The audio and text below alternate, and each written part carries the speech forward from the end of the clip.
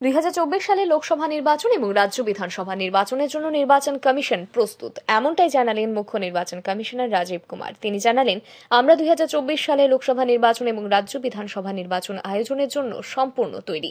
সমস্ত প্রস্তুতি প্রায় সম্পূর্ণ হয়ে গিয়েছে। শিয়রে লোকসভা নির্বাচন।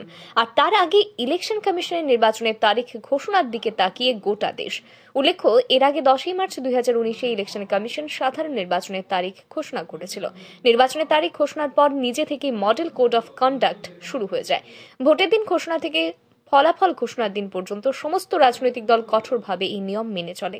এই বছর লোকসভা নির্বাচনের পাশাপাশি অন্ধ্রপ্রদেশ, উড়িষ্যা, সিকিম এবং অরুণাচল প্রদেশের বিধানসভা নির্বাচনও হবে। মুখ্য নির্বাচন কমিশনার জানান, পঞ্চাশ শতাংশ ভোট কেন্দ্রে এবার ওয়েবকাস্টিং এর সুবিধা থাকবে। সাঁত্রিশ হাজার আটশো নয়টি ভোট কেন্দ্রের মধ্যে বাইশ হাজার ছয়শো পঁচাশিটিতে ওয়েবকাস্টিং এর ব্যবস্থা করা হবে। প্রধান নজর থাকবে প্রতিবন্ধী, যুবক এবং মহিলাদের অংশগ্রহণের উপর। এছাড়াও এবার তিনশোটি এমন ভোট কেন্দ্র থাকবে যেগুলি শুধুমাত্র প্রতিবন্ধীদের দ্বারা পরিচালিত হবে। সিইসি রাজীব কুমার আজ ভুবনেশ্বরে ঘোষণা করেন, লোকসভা নির্বাচন চালনার জন্য দেশ সম্পূর্ণভাবে প্রস্তুত। এদিন সেখানে আধিকারিকদের সঙ্গে বৈঠক করেন। তাদের নির্বাচনের সময় কি কি পদক্ষেপ নিতে হবে সে বিষয়ে পরামর্শ দেন তিনি। তারপরেই নির্বাচন কমিশন জানায় উড়িষ্যাও নির্বাচনের জন্য প্রস্তুত। প্রধান নির্বাচন আধিকারিকরা ইতিমধ্যে অন্ধ্রপ্রদেশ সহ যে রাজ্যগুলিতে নির্বাচন মুলতবি রয়েছে, সেখানে প্রস্তুতি শেষ পর্যায়ে বলে জানিয়েছেন। আপাতত নির্বাচনের দিনক্ষণ শীঘ্রই প্রকাশের অপেক্ষাতেই তাকিয়ে দেশবাসী।